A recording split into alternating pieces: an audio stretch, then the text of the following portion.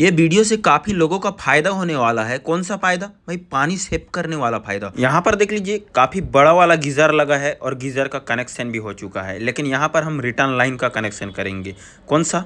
ये देख लीजिए, ये है हॉट वाटर रिटर्न का मोटर इसे हम फिट करेंगे और इसमें काफ़ी ज़्यादा पानी सेव होता है। और ये वाला जो आप पंप देख रहे हो, ये प्रेशर पंप है। अब ये रिटर्न लाइन का मोटर है। इस मोटर में किस तरीके से पानी सेव होगा, वो सब बताते हैं। चलिए, इसे हम पहले फिटिंग जो करेंगे, वो भी देखिए, क्योंकि इसका फिटिंग करने का तरीका बहुत अलग है। वो समझना ज़रूरी है, हम एक्सप्लेन भी करेंगे और साथ में फिटिंग का वीडियो भी दिखाएँगे, ताकि आपको अच्छे से समझ में आए और आप भी पानी इस तरीके से सेव कर सको। अब हम फिट कर लेते हैं। ये है एक इंच का C P V C brass M इस सब में हम टेबलों टेप लगा रहे हैं। और ये जो C P V C solvent cement लगा रहा हूँ ना, ये आप लगा सकते हो, नहीं भी सकते हो। लेकिन हाँ हल्का सा C P V C solvent cement देने से लीकेज का चांसेस बहुत कम हो जाता है। जो टेबलम टेप से ऑलरेडी कम हो जाता है, लेकिन C P V C solvent देंगे तो आप और भी ज़्यादा लीकेज से बच सकते हो। ये चीज़ का ध्यान रखिएगा। दे सकते हो या नहीं दे सकते हो, वो आपकी मर्ज़ी है। लेकिन है तो दे दीजिए, बहुत फ़ायदे में रहेंगे। अब हमारा मोटर जो है, वो फिट हो चुका है। इसे हम पूरा कंप्लीट कर चुके हैं। इसे हम लगाएँगे यहीं पर प्रेशर पंप के पाँच जू में। ठीक है, इस मोटर का नाम बहुत लोग बोलते हैं वाटर सर्कुलेशन पंप मतलब रिटर्न करता है पानी को। ये जो आप लाइन देख रहे हो ना हमारा, ये हमारा ठंडा वाला लाइन है, जो गीजर में जाके कनेक्शन हुआ है। ठीक है तो गीजर वाला जो लाइन है, इसमें कनेक्शन है, इसमें हम कटिंग करेंगे। गर्म वाला लाइन जो है, गर्म वाला में कट नहीं करना है आउटलेट में। इनलेट में आपको कट करना है और यहाँ पर टी मारना है। ठीक है आप जरा इस लाइन को देखिए, इधर इस तरीके से देखकर आपको कुछ समझ में आएगा किस तरीके से कनेक्शन होगा।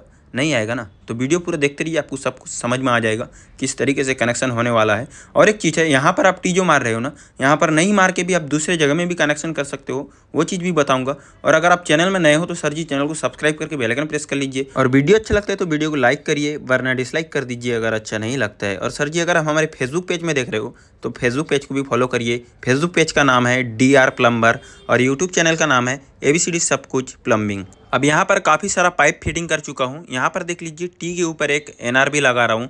ये एनआरबी यहाँ पर देना ज़रूरी है। किस तरीके से एरो दिया हूँ, वो भी देख लीजिए, ठीक है? ये सब चीज़ ध्यान दीजिएगा, क्योंकि सभी एक्सप्लेन तो करूँगा अभी बाद में, लेकिन ये सब फिटिंग करते वक्त भी ध्यान दे लीजिए, ताकि आपको समझने में और भी आसानी हो। और ये वाला पार्ट भी आपको समझने का है। यहाँ पर देख लीजिए, एक पौने सी पी टी लगाया हूँ। उसके बाद पौने भाई आधे का ब्रास एफ़ और उसमें छोटा सा एक टुकड़ा पौने इंच का दिया हूँ और टी में कनेक्शन कर दिया हूँ। और ये वाला लाइन जो कनेक्शन कहाँ हो रहा है, हमारा मोटर का इनलेट वाला लाइन में कनेक्शन होने वाला है। इस तरीके से यहाँ पर इस पॉइंट को छूटा रहेगा। और ये जो आप देख रहे हो, ये है एक एनआरबी ये है हॉरिजेंटल एनआरबी जिसे हम स्विच चेक बल्ब कहते हैं। इसका हम किस तरीके से उपयोग करेंगे, जहाँ हॉरिजेंटल मतलब आड़ा में रहता है, इस एनआरबी को यूज़ करेंगे। जैसे कि देख लीजिए, ये है एरो तो एरो जो है हमारा उस साइड रहेगा। और इस तरीके से हम यहाँ पर इसे हम फिटिंग कर लेंगे।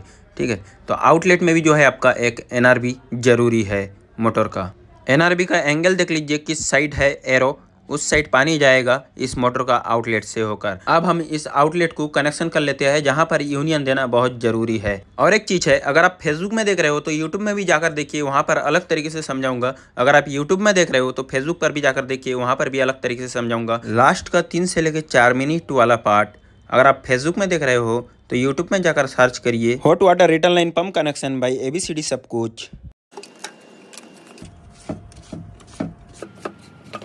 अब मेरा रिटर्न लाइन का आउटलेट कनेक्शन पूरा कंप्लीट हो चुका है। अब इनलेट कनेक्शन भी जो है थोड़ा सा बाकी है इसे हम झटपट कंप्लीट कर लेते हैं। और आप लोग भी हमारी तरह वीडियो को झटपट लाइक और चैनल को सब्सक्राइब करिए और फेसबुक पेज में देख रहे हो तो फेसबुक पेज को फॉलो करिए और वीडियो को ज़्यादा से ज़्यादा फेसबुक में शेयर करिए। हमारा इंस्टॉलेशन का काम पूरा हो चुका है। अब आपको समझाना बाकी है। देख लीजिए यहाँ पर पूरा पाइपलाइन कंप्लीट हो चुका है। इसका थोड़ा सा एक्सप्लेन करना ज़रूरी है क्योंकि यहाँ पर कुछ एनआरबी वगैरह सब है बल्ब है बहुत सारा चीज़ है बहुत सारा चीज़ बताऊँगा। यहाँ पर देख लीजिए सेंसर है ठीक है?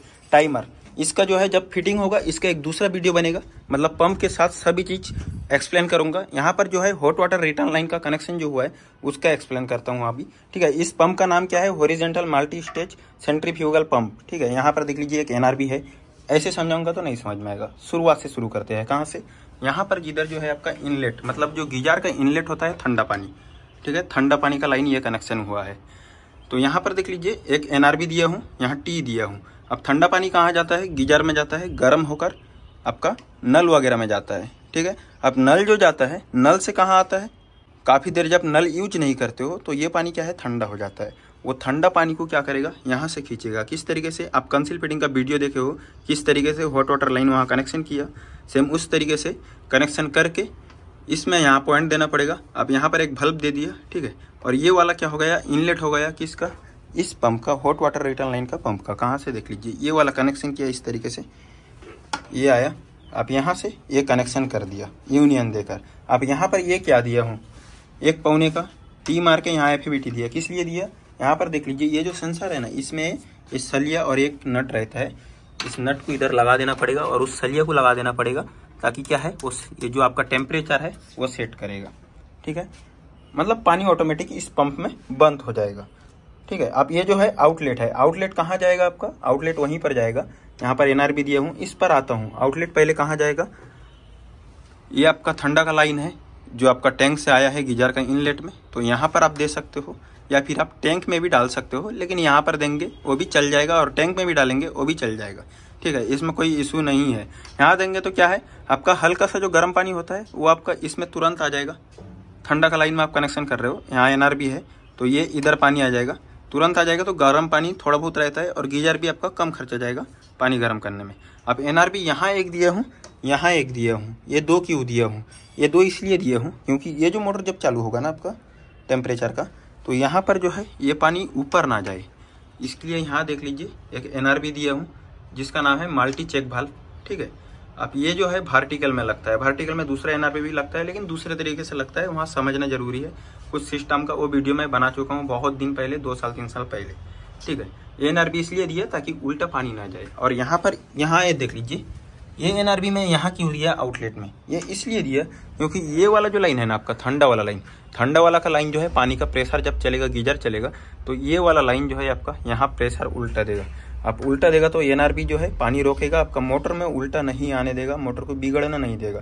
तो आपको यहाँ एक एनआरबी ज़रूरी है और एक जो है, यहाँ पर एक एनआरबी ज़रूरी है। ये दोनों एनआरबी आपको ज़रूरी ज़रूरी है। और ये एनआरबी किस लिए है? ये इसलिए है क्योंकि गीजर काफ़ी दिन पहले लग चुका है, दो बार लग चुका है। एक टेम्पोरारी लगा था ताकि घर वाले यूज़ कर रहे थे। फिर दूसरे बार लगा दिया परफेक्ट हो गया। फिर से हॉट वाटर रिटर्न लाइन जो है, वो काफ़ी दिन बाद आया है। इसके वजह से फिर ये हुआ है। और उम्मीद करता हूँ ये सारा चीज़ आपको समझ में आ गया है किस तरीके से करना है।